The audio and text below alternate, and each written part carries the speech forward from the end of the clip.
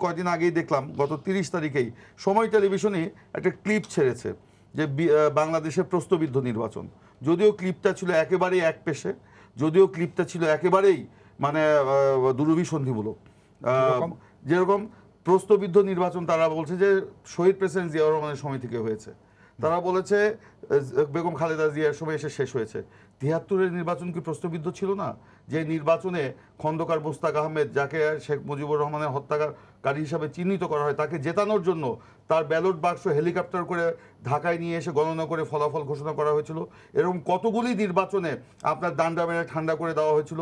সেখানে গরিবাল রাজি থেকে শুরু করে কত আপনার প্রার্থীকে সেখানে পরাজিত করা হয়েছিল। সেই নির্বাচন কি প্রশ্নবিদ্ধ ছিল না? আপনার চোদ্দ সালের নির্বাচন কি প্রশ্নবিদ্ধ ছিল না? আঠারো সালের নির্বাচন কি প্রশ্নবিদ্ধ ছিল না? সময় টেলিভিশনের সেই ক্লিপে কিন্তু সে কথাগুলো নাই। না, সময় টেলিভিশনের সেদিন সেই রিপোর্টটি- ক- সেদিন প্রিন্স ভাই, আমি একটু কি- ব্যাখ্যা আমি দিই আমি আপনাকে। আমার কথা শেষ করতে দেন। জি, বলুন আপনি। এবং সেটা কবে দেওয়া হলো? তিরিশে মে যেদিন শহীদ প্রেসিডেন্ট জিয়াউর রহমানের শাহাদত বার্ষিকী ওটা হেডলাইন করা হলো যে প্র- বাংলাদেশের প্রস্তবিদ্ধ নির্বাচন। কিন্তু ভিতরে হলো জিয়াউর রহমানের একেবারে মানে যতটুক মানে সমালোচনা এবং যেটা না সেটা বলে এবং ওনাকে ওনার চরিত্র হনন করার জন্য। সেটা কি তিরিশে মে ওনার শাহাদত বার্ষিকীতে দেওয়া খুব জরুরি ছিল? ছিল না, এখন আপনার পছন্দ অপছন্দ আপনার অবশ্যই আমি আমার কথাটা বলছি। নিজের বিষয়। নির্বাচনের বিষয়টা যখন আসবে এটা ছিল হানা ভোট নিয়ে আপনার জিয়াউর রহমানের হ্যাঁ, হানা হানা ভোট কেন হয়েছিল? এবং হোসেন মোহাম্মদ এরশাদের না, হানা ভোট, দুটি নিয়েছিল। হানা ভোট রিপোর্টে ওখানে আরও অনেক প্রসঙ্গ ছিল। আপনি যদি বলেন আমি এখন বাজিয়ে শোনাতে পারি। আমি এটা করতে চাই না। আমি প্রশ্ন যেহেতু আসছে কথার পিঠে কথা। তিয়াত্তর সালেও কিন্তু ওই নির্বাচন প্রশ্নবিদ্ধ ছিল। আজকে প্রশ্নবিদ্ধ নির্বাচন আমরা এই- এই যে চোদ্দ সালে এবং আঠারো সালে যে চরম প্রশ্নবিদ্ধ নির্বাচন। দেশ বিদেশে এটা কোনো গ্রহণযোগ্যতা নাই। তারপরে তো সরকার আপনার তার গুম খুন হত্যা নির্যাতন দমন নিপীড়ন ফ্যাসিবাদী আচরণ করে কর্তৃত্ববাদী শাসন কায়েম করে তো সেই শাসন তো চালিয়ে যাচ্ছে। সেই সেখানে কোনো স্কোপ নাই। আজকে এগুলো করে তো কোনো লাভ নেই। যে বললেন দাদা যে বিপরীতমুখী রাজনৈতিক দলগুলোর সাথে আলোচনা করছে। আমাদের এই আন্দোলন বা জোট এটা কোনো আদর্শিক জোট নয়। এটা হচ্ছে ন্যূনতম কর্মসূচির ভিত্তিতে সেটা একটা আমরা একটা আন্দোলনের আমরা যেতে চাই।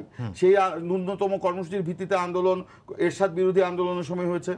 আপনি ধরেন তখন যে পনেরো দল হয়েছিল আওয়ামী লীগের সাথে কমিউনিস্ট পার্টির কি কোনো আদর্শিক মিল ছিল? তারা সমাজতন্ত্র করতে চেয়েছে তারা বিপ্লব করতে চায়। ওয়ার্কার্স পার্টি জাসদ জাসদ তো আওয়ামী লীগের বিরুদ্ধে রাজনীতি করে জাসদের জন্ম হয়েছিল। এবং সেখানে বলা বলা হচ্ছিল যে শেখ মুজিবুর রহমানের হত্যাকাণ্ডের প্রেক্ষাপট রচনা জাসদ করেছে। সেই জাসদকে দিয়েও তো সে তারা পনেরো দল করেছে।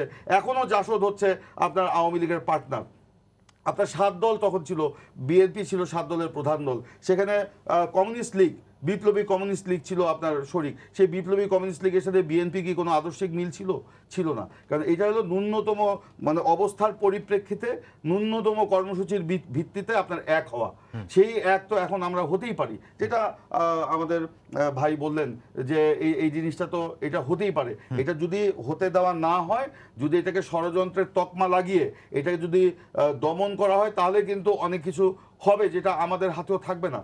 জনগণের হাতে থাকবে না। আমরা জনগণের রাজনীতিতে বিশ্বাস করি জনগণের ভোটের অধিকার অধিকার প্রতিষ্ঠার মাধ্যমে আমরা ক্ষমতার পালাবদল চাই। কিন্তু এই ক্ষমতার পালাবদল বর্তমান সরকারের অধীনে নির্বাচন এটা সম্ভব নয়। তারা ভোটকে প্রহসনে পরিণত করেছে আহ, প্রশ্নবিদ্ধ নির্বাচন করেছে। এই প্রশ্নবিদ্ধ নির্বাচন যারা করেছে তাদের উপর জনগণের কোনো আস্থাও নাই বিশ্বাসও নাই। সেই কারণে আমরা সরকারের পদত্যাগ চেয়েছি আমরা বলেছি আওয়ামী লীগ সরকারের অধীনে কোনো নির্বাচন নয়। আমরা এটা আওয়ামী লীগকে বলছি তারা যদি হুশে না আসে তারা যদি এটাকে বাস্তবতার নিরিখে বিচার না করে এক গুইমি করে যদি তারা এগিয়ে যেতে চায় তাহলে তো বাংলাদেশকে কোন পথে তারা নিয়ে যেতে চাচ্ছে আমরা তো বুঝতে পারছি না। এখানে আরেকটি কথা বলা হচ্ছে যে এখানে বলা হচ্ছে যে সুজাতা সিং এর কথা। সুজাতা সিং এর তো কি বলেছিল সেই নির্বাচনে? পরে এরশাদের দলকে কীভাবে নির্বাচনে নিয়ে যাওয়া হয়েছিল এটা তো সবাই জানে।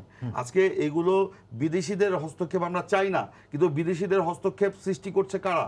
আওয়ামী লীগ করছে। তারা এক গুইমি করে এটা এটা করছে। আজকে এটাও না, বলেছি হস্তক্ষেপ বলুন আর দুতিয়ালি বলুন যেটি সেটাতে কোনো হয় এই যে আমেরিকান আমেরিকান স্টেট ডিপার্টমেন্ট তারা যে আপনার একটা বাংলাদেশের মানবাধিকার সারা বিশ্বের মানবাধিকারের উপরে একটা রিপোর্ট দিয়েছে তাই না? কান্ট্রি রিপোর্ট সেই কান্ট্রি রিপোর্টে সেখানে আপনার স্পষ্টই তো লেখা আছে দুই হাজার আঠারো নির্বাচন সম্পর্কে।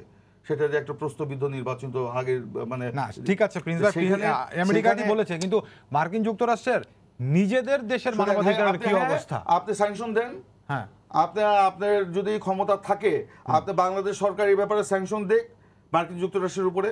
বলে যে তোমাদের কোনো সহযোগিতা দরকার নেই তোমাদের সাথে আমাদের কোনো চুক্তির দরকার নেই তোমরা মানবাধিকার লঙ্ঘন করেছ বলেন না কেন।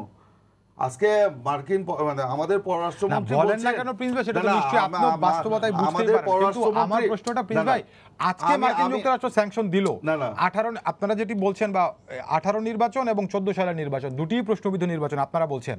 তো সেই জায়গাতে চোদ্দ জনগণ বলছে আমরাও কেন বলব? আচ্ছা সর্বমহল বলছে। চোদ্দ নির্বাচনের পরে তো মার্কিন যুক্তরাষ্ট্র কোনো স্যাংশন দিল না। এখন আঠারোর পরেও দিল না। 18 18 তিন বছর অতিবাহিত হওয়ার পর কেন দিল? এটি কি কোনো কারণ আছে কিনা? নির্বাচন নিয়ে দেয় নাই। হ্যাঁ। এখানে মানবাধিকার লঙ্ঘনের ব্যাপার হ্যাঁ, তাহলে মানবাধিকার লঙ্ঘনের এই অভিযোগগুলো তো আজকের না, এটা অনেক পুরনো। হ্যাঁ, তারা পর্যালোচনা করে পর্যালোচনা করেছে। এটা ভাই তারা এখন কেন দিল তারা বলতে পারবে। আমরা তাদের মুখপাত্র না। আমরা এই ব্যাপারে বলতে পারব না। আমরা শুধু এইটুকু বলতে চাই এই যে কিছুক্ষণ আগে যে দর্শকটা প্রশ্ন করল যে আমরা নির্বাচন বর্জন করেছি আমরা বর্জন করেছি বলে জনগণ কিন্তু ভোট কেন্দ্রে যায় নাই। কিন্তু যারাও দুই চারজন ভোট কেন্দ্রে গিয়েছে এমনকি আওয়ামী লীগের নেতা কর্মীরাও সমর্থকরা যারা ভোট কেন্দ্রে গিয়েছে তারা গিয়ে দেখেছে তারা গিয়ে দেখেছে তাদের ভোটও দেওয়া হয়ে গেছে। তো এই তো বর্তমান প্রেক্ষাপট। এই প্রেক্ষাপটে কখনোই একটা গ্রহণযোগ্য নির্বাচন আওয়ামী লীগের বলে সম্ভব নয় বলেই আমরা এই সরকারের পদত্যাগ দাবি করে নতুন নিরপেক্ষ প্রশ্নটি করেছিলেন।